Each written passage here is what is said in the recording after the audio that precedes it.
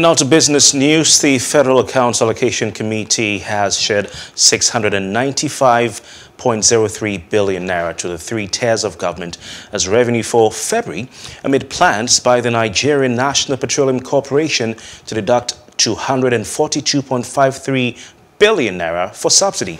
The FAAC Director of Information, Olajide Oshundun, who disclosed this in a communique after the virtual conference, noted that the gross revenue available from value-added tax for the month of February was 177.873 billion naira as against 191.222 billion naira distributed in the preceding month of January, resulting in a decrease of 13.349 billion naira.